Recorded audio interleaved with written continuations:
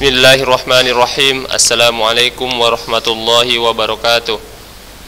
Alhamdulillahi rabbil alamin. Wassalatu wassalamu ala rasulillah Wa ala alihi wa man wala. Wa la hawla wa la quwata illa billah. Amma ba' Pertama-tama Marilah kita panjatkan puji syukur kita kepada Allah subhanahu wa ta'ala Yang mana pada hari ini kita masih diberikan banyak kenikmatan di antaranya nikmat bisa memeluk agama Islam, nikmat bisa mendapatkan iman di dalam hati yang mana dengan nikmat iman di dalam hati kita kita masih bisa bersemangat untuk beribadah kepada Allah baik ibadah ibadah wajib maupun ibadah-ibadah sunnah lainnya.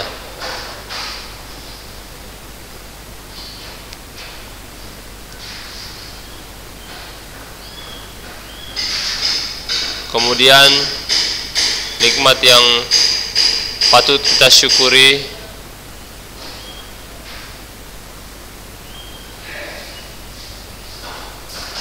yang ada pada diri kita saat ini yaitu nikmat kesehatan yang mana dengan nikmat sehat kita bisa melakukan aktivitas-aktivitas kehidupan sehari-hari seperti aktivitas ibadah, aktivitas bekerja, aktivitas membantu orang tua, aktivitas belajar. Itu semua karena kita diberikan kesehatan oleh Allah Subhanahu wa taala. Kita saat ini masih bisa mendengarkan pelajaran-pelajaran dari guru kita itu karena nikmat sehat telinga kita masih diberikan oleh Allah Subhanahu wa taala.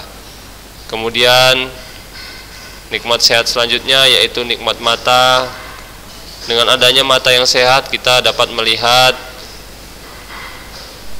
segala bentuk ciptaan Allah Subhanahu wa taala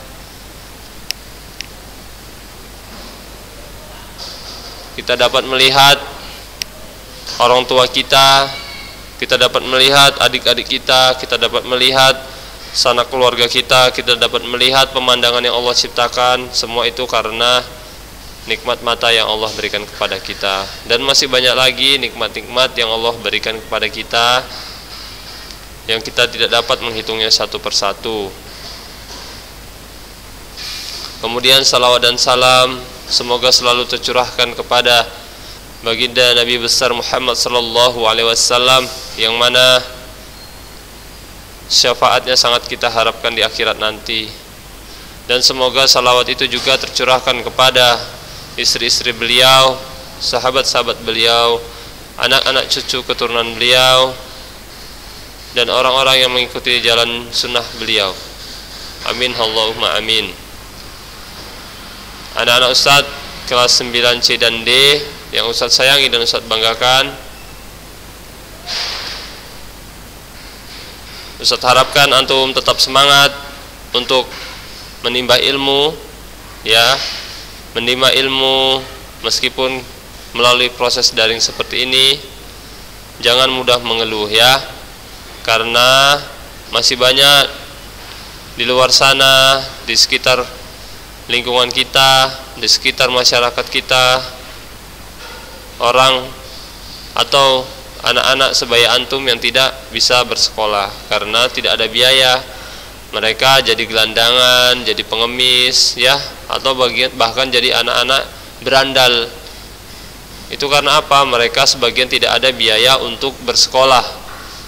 Jangankan untuk membeli handphone, ya, membeli handphone untuk belajar daring seperti ini, untuk tempat tinggal mereka pun tidak punya ya. Tempat tinggal orang tua pun tidak ada ya. Mereka jadi gelandangan. Makanya antum bersyukur sudah difasil, difasilitasi oleh orang tua ada handphone ya.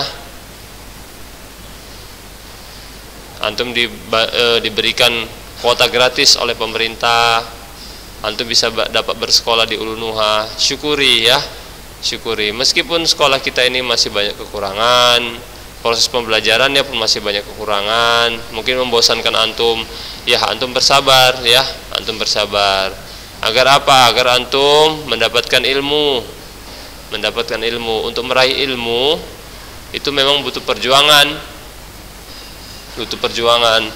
Tidak bisa kita meraih ilmu tanpa perjuangan. Misalkan kita diam-diam saja ya diam-diam saja kita di rumah berdiam tidak membaca buku, tidak ikut pelajaran di sekolah, kita tidak dapat ilmu. Misalkan antum main game saja gitu kan, main game saja. Antum pasti tidak tahu apa itu pengertian ilmu pengetahuan alam, apa itu ilmu pendidikan jasmani, apa itu ilmu tahsin, tidak bisa kan? Maka antum, antum harus berjuang. Harus berjuang untuk meraih ilmu, untuk bekal antum nanti di masa depan ya.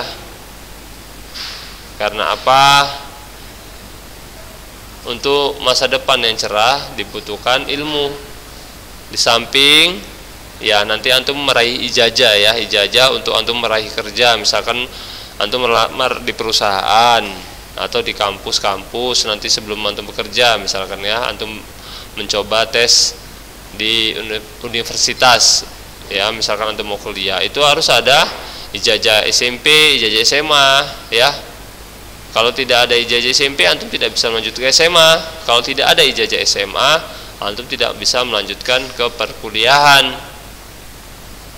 Maka dari itu antum harus berjuang untuk mendapatkan ijazah itu ya. Meskipun ijazah itu bukan tujuan utama, tapi itu kan merupakan syarat ya. Syarat untuk antum nanti meraih kesuksesan di masa depan ya. Artinya antum uh, untuk mencoba melamar nanti ke perguruan tinggi atau ke perusahaan atau pegawai negeri sipil harus ada ijazah melalui sekolah. Nah, itu dia. Tapi Ustadz saya bosan Ustadz, Ustadz saya bosan belajar gini daring-daring seperti ini. Ya, itu tadi itu harus kita lawan ya. Itu merupakan was-was syaitan ya. Kalau teman bisa, teman bisa ikut belajar melalui daring, antum harus bisa juga. Ya kan dikasih keringanan juga. Misalkan antum lagi sakit ya dikasih keringanan. Bisa izin dengan wali kelas atau guru mapel. Tinggal di WhatsApp ya kan? Ustaz saya sakit tidak bisa mengikuti pelajaran. Nah, kan tinggal melapor ya. Kalau sehat ya wajiblah untuk belajar ya seperti Ustaz bilang tadi ya. Kan tujuannya sudah jelas untuk meraih ilmu dan untuk mendapatkan ijazah ya. Tapi tujuan pertamanya untuk mendapatkan ilmu ya. Karena dahulu para sahabat ya para sahabat artinya orang-orang soleh pada zaman dulu ya. Zaman para sahabat dulu mereka untuk mendapatkan ilmu itu sangat berjuang betul bahkan mereka sampai jual genting rumah untuk mendapatkan ilmu. Ya. Jual genting rumah mereka melakukan perjalanan berbulan-bulan. Ya melakukan perjalanan di gurun pasir untuk mendapatkan ilmu. Mendapatkan ilmu agama tentunya ya. Nah sampai berjalan berbulan-bulan. Ada yang sampai dua bulan empat bulan seperti itu. Kita kan tinggal di rumah saja tinggal di rumah buka handphone. Nah sudah dapat ilmu. Tidak seperti dahulu sampai berkorban mereka berkorban nyawa sampai berkorban nyawa. Karena mengarungi padang pasir itu butuh butuh stamina yang kuat kan? Persediaan air yang kuat. Kalau tidak kita bisa mati di tengah padang pasir kepanasan. Tapi kalau para sahabat dulu mereka sangat semangat. Bahkan rela mereka berkorban nyawa untuk mendapatkan ilmu ya kemudian satu lagi kita kan saat ini sedang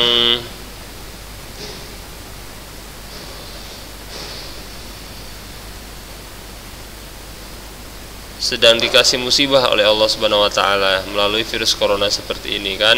Nah, itu solusinya apa? Solusinya kita bisa sama-sama untuk berlomba, berbuat baik, bertobat untuk mendekatkan diri kepada Allah agar virus corona ini bisa diangkat oleh Allah. Tidak bisa manusia menghilangkan virus ini. Sama seperti manusia tidak bisa menghilangkan virus HIV AIDS ya. Tidak bisa hanya Allah yang bisa menghilangkan virus tersebut. Caranya dengan bertakwa kepada Allah agar Allah mengangkat segera virus ini. Kalau sama Allah mudah saja Allah menghilangkan virus ini ya tapi kalau kita masih banyak maksiat ya misalkan sholat malas kaum muslimin masih banyak yang uh, melakukan maksiat seperti mabuk-mabukan, ada yang berzina, ya, ada yang berjudi, itu akan membuat Allah semakin marah kepada kita, ya. Dan Allah akan menimpakan terus musibah kepada kita. Maka dari itu kita harus banyak-banyak bertaubat, ya. Oke, anak-anak Ustadz, pada kali ini kita akan memasuki tentang materi atletik cabang olahraga lompat tinggi. Lompat tinggi merupakan satu nomor olahraga pada cabang olahraga atletik ya nomor lompat nomor lompat itu dibagi lagi ya. Ada nomor lompat tinggi ada nomor lompat jauh ada nomor lompat jangkit ada nomor lompat tinggi gala ya. Seperti itu. Kita saat ini akan mempelajari lompat tinggi gaya straddle. Gaya straddle. Seperti apa sih Ustadz gaya straddle lompat tinggi itu? Ya nanti Ustadz akan membuka videonya membuka videonya antum lihat ya. Antum lihat bagaimana nanti lompat tinggi gaya straddle ya? Pada minggu kemarin sudah kita pelajari lompat tinggi gaya flop ya? Gaya flop. Saat ini adalah lompat tinggi gaya straddle lompat tinggi gaya straddle bedanya dengan gaya flop yaitu pada saat melompat melompat melewati mistar ya? Melompat melewati mistar. Seperti ini mistarnya ya nah ini ada mistar nih kan? Ini mistar. Nah ini kan ada tiang dua dua tiang. Ya kan? Ada dua tiang. Seperti anda melihat ini di sini kan? Ada dua tiang. Nah ini tiang ini yang seperti jemuran kalau kita bilang lah ya. Kan ada mistarnya ini. Mistarnya ini lentur dia tidak terbuat dari besi. Jadi kalau ditabrak tidak sakit lentur terbuat mungkin campuran dari fiber dan karet ya. Lentur jadi kalau kita tertabrak dia tidak terasa sakit. E, maksud Ustaz tubuh kita tidak terasa sakit apabila tertabrak oleh mistar tersebut ya. Kemudian e,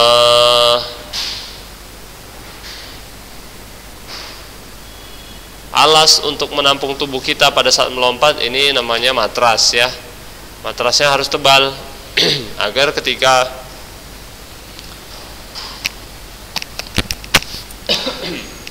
agar ketika kita mendarat tubuh kita tidak cedera atau sakit ya. Matras ini merupakan produk ah ya yang lumayan mahal ini mas, ma, matras ini ya. Bisa sampai puluhan juta rupiah ini matras ini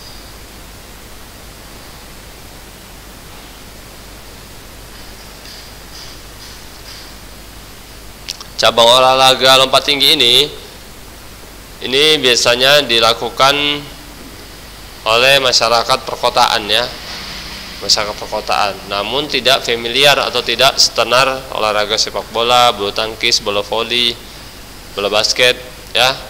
Ini biasanya dilatih untuk anak-anak di pusat PPLP PPLP itu maksudnya pusat pelatihan pusat pelatihan pelajar ya.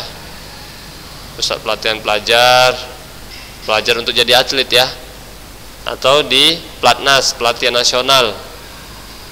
Nah itu biasanya latihan seperti ini diterapkan.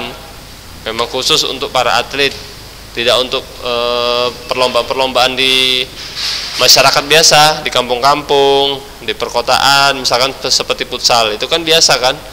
E, bebas masyarakat melakukan olahraga-olahraga futsal bulu tangkis ya. Karena sarananya tidak terlalu ribet dan e, ramai ya. Mengasyikkan gitu. Kalau ini kan tidak. Lihat antum lihat sendiri nih penontonnya sepi kan? Tidak seramai penonton bulu tangkis dan sepak bola. Jadi peminatnya pun kurang. Kalau untuk lompat tinggi nih peminatnya kurang ya. Namun tetap diadakan kejuaraan dunia. Kalau untuk lompat tinggi ini sama seperti sepak bola, bola voli, bola basket, bulu tangkis, tenis meja diajar, diadakan kejuaraan dunia. Dan lompat tinggi ini pun diadakan kejuaraan dunia ya. Kejuaraan dunia atletik bukan kejuaraan dunia khusus untuk lompat tinggi. Tidak digabungkan. Ini adalah termasuk olahraga atletik. Olahraga atletik adalah olahraga yang paling komplit ya. Kejuaraan atletik dunia. Nah di situ masuk semua lompat tinggi lompat jauh e, tolak peluru lari sprint masuk semua di situ ya. Kemudian selanjutnya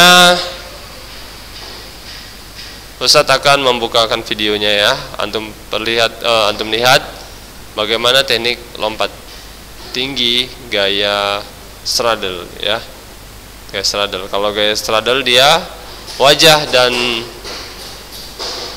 wajah dan tubuh atau dada itu menghadap ke mistar. Beda dengan gaya flop. Gaya flop wajah dan dada menghadap ke langit ya. Coba antum melihat ya videonya ya. Nah antum lihat kan? Wajahnya menghadap ke mistar dan dadanya juga menghadap ke mistar. Sedangkan punggung menghadap ke langit. Beda dengan gaya flop gaya flop wajah menghadap ke atas dan dada menghadap ke atas langit sedangkan e, punggung meng, e, berada di bawah dekat mistar Nah, kalau ini dekat mistar ini kan wajah dan wajah dan dada ya, nah, bukan punggung. Punggung menghadap ke langit, wajah dan dada menghadap ke mistar. Inilah gaya straddle. Nah,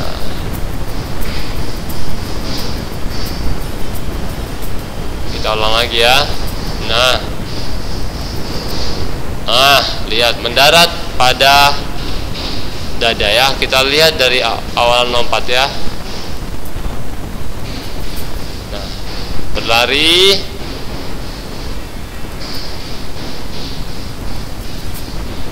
berlari pada saat berlari fokus pandangan ke mistar ya nah melompat. Pada saat melompat mau tolakan tolakan melompat. Tolakan melompat kaki yang digunakan adalah kaki yang terkuat. Misalkan antum kaki terkuatnya adalah kaki kanan. Antum melompatnya dari sini. Agar tidak ribet. Ya misalkan antum tolakannya adalah kaki kanan. Ya tolakannya antum kaki kanan antum berada di sini tapi kalau antum yang kuat adalah tolakan kaki kiri ya. Eh afan kalau antum tolakan kaki kanan antum melompat dari sini. Tapi kalau antum tolakan kaki kiri tolakan kaki kiri yang kuat antum melompat dari sini. Ya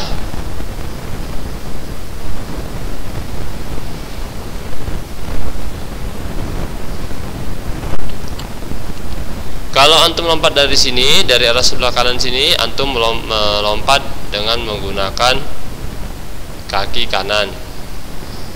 Kalau antum melompat dari sini, antum melakukan melakukan tolakan melalui kaki kiri. Coba kita lihat ya. Pasti dia melompatnya dari kaki kiri. Tolakannya. Nah, lihat.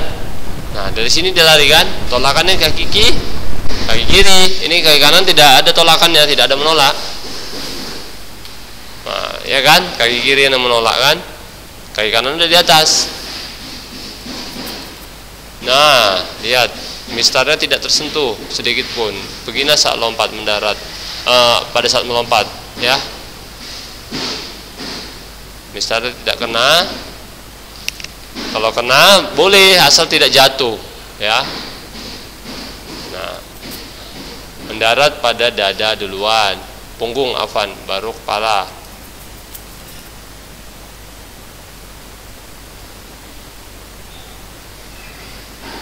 kita ulangi sekali lagi ya. Lihat menolak pada kaki kiri melangkah melangkahi mistar dengan kaki lanjut mendarat. Ya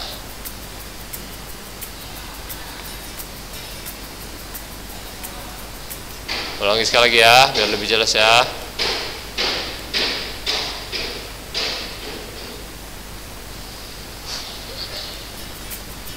Yup. Ya, itu dia. Berhasil tandanya.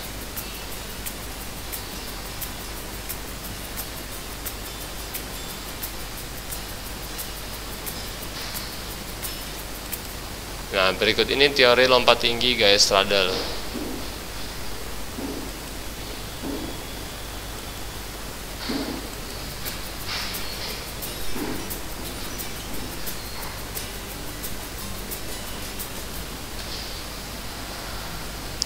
Teknik dasar dalam lompat tinggi gaya straddle adalah yang pertama teknik awalan. Ya, teknik awalan terdiri dari berdiri tegak, lari. Kemudian langsung nomor dua teknik lolakan. Setelah berlari, lakukan teknik lolakan dengan kaki kiri atau kaki kanan. Ya, kalau tolakannya kuat yang kaki kanan, maka lompatnya harus dari sebelah kanan. Kalau tolakan kaki kiri yang kuat, maka lompatnya harus dari sebelah kiri. Yang ke berikutnya yang ketiga adalah teknik saat di atas mistar. Tekniknya badan terlungkup, wajah terlungkup me menghadap ke mistar ya. Kemudian yang keempat teknik mendarat. Teknik mendarat. Teknik mendarat harus dengan bagian belakang tubuh atau pantat. Jangan sampai teknik mendarat yang mendarat wajah duluan, ya salah ya. Atau lutut duluan ya hati-hatilah pada saat mendarat ini ya pada saat mendarat harus hati-hati jangan sampai cedera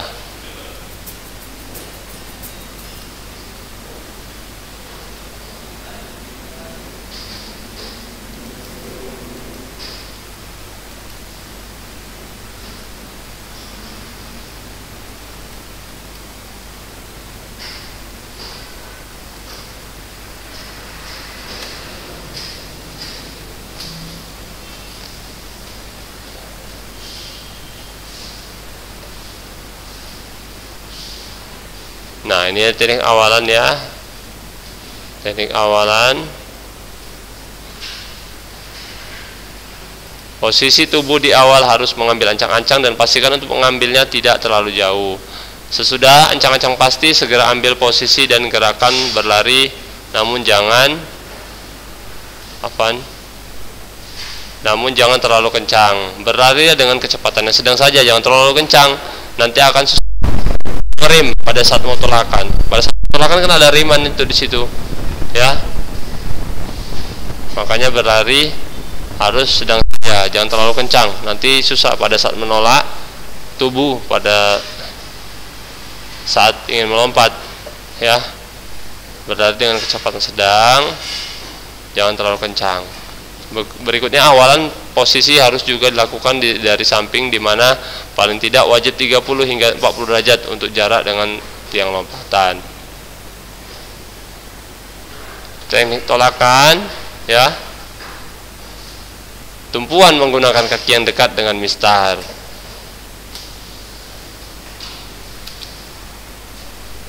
Ketika melakukan tolakan, posisi tubuh sebaiknya agak dicondongkan ke arah belakang atau sedikit merebah.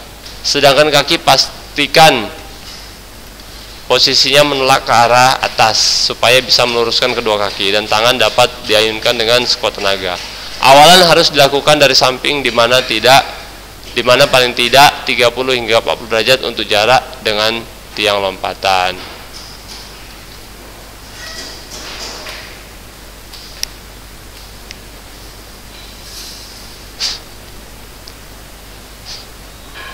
Kemudian teknik saat di atas mistar ya. Tubuh harus dalam posisi tengkurap ya, tengkurap tadi ya. Wajah menghadap ke mistar, jangan terlentang. Pastikan juga untuk membuat tubuh sedikit turun. Sedikit turun artinya tidak tegang ya. Badan dilakukan seperti huruf U, U terbalik. Pastikan juga untuk membuat tubuh sedikit turun. Ketika tubuh sedikit turunkan, hal tersebut perlu dilakukan ketika posisi kaki hendak diluruskan ke arah belakang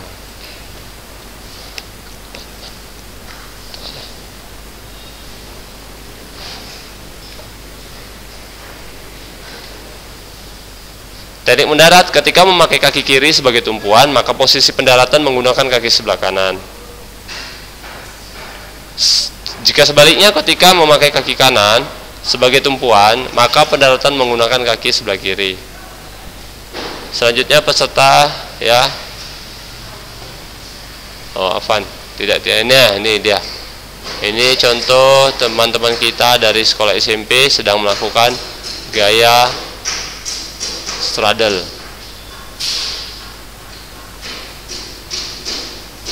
Ya ini guys straddle ya. Dilakukan oleh sahabat-sahabat antum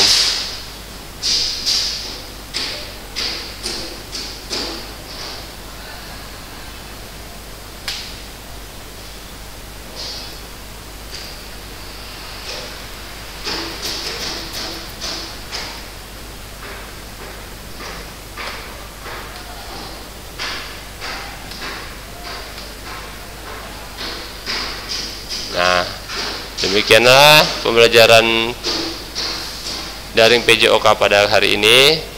Materinya tentang lompat tinggi gaya straddle untuk selanjutnya minggu depan kita akan membahas tentang pelajaran yang lain ya. Pelajaran pendidikan jasmani. Lebih kurangnya Ustaz mohon maaf. Ustaz sudahi dengan doa kafaratul majelis subhanakallahumma wa bihamdika asyhadu alla ilaha illa anta astaghfiruka wa atubu ilaik. Assalamualaikum warahmatullahi wabarakatuh